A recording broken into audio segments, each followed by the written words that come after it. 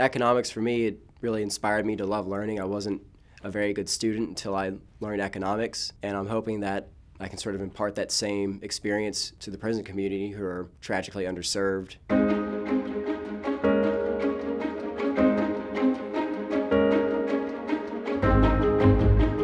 My name is Dylan DelliSanti. I have a PhD in economics from George Mason University and I'm an Emergent Ventures grantee. So my EV project has been teaching economics to prisoners. This summer I actually taught a class at the DC jail as they call it to about nine or 10 students there. What I'm hoping to get out of it is I'm hoping that economics for me, it really inspired me to love learning. I wasn't a very good student until I learned economics and I'm hoping that I can sort of impart that same experience to the prison community who are tragically underserved in this country. I'm hoping that my EV project will sort of be a, a recurring part of my life. I like to stay involved in the prison community, both in education and maybe finding some ways to help out and reform.